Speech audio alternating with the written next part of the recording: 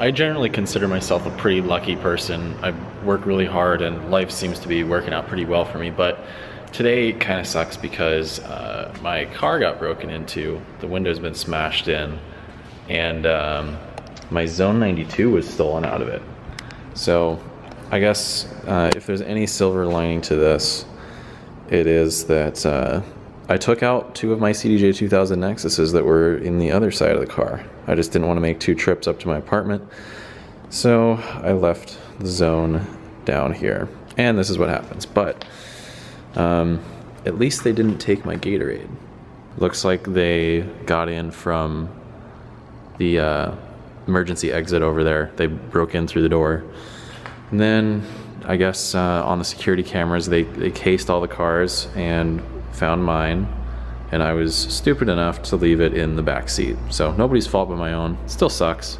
And yeah, now just uh, time to go to the pawn shops and give them the uh, the serial number info and pictures of it. and unfortunately, I got a lot of fucking gigs this week. This is like maybe the worst week to have this happen.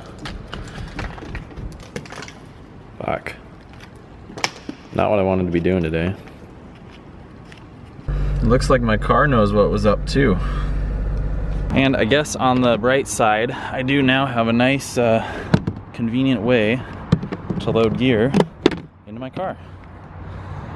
So yeah, it fucking sucks that uh, my car got broken into and my shit was stolen. And all things considered with the cost of the mixer, the uh, cost of the case that it was in, and uh, you know, even the cost of the glass. I'm out about uh, about $2,000 just because of a stupid mistake that was totally preventable. So here's the thing though, so like I've owned gear, um, or at least like a substantial amount of gear for like five or six years now. And the cost to insure all of that gear over those last six years would have been way, way, way more than the cost of this one incident. So that's one thing that I kind of want to make sure that I leave you with in this video is, you know, shit happens in the real world. It sucks a lot.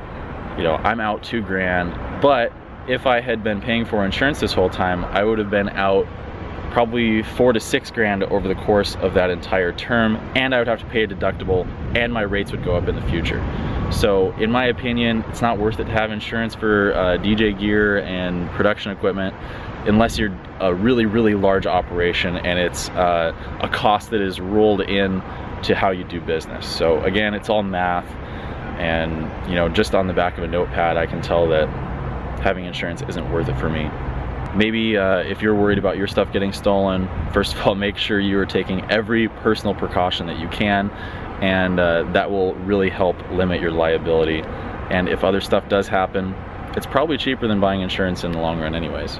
Uh, thanks for watching and uh, do not donate to my GoFundMe, do not donate on Patreon, do not send me money to my PayPal account, do not buy me shit on Amazon, and don't buy me a new Xone:92. Uh, this is my fault, shit happens, and um, yeah, I'll see you in the next video. Thanks for watching. God damn it, I gotta check the shop door just to make sure. All right, that's it.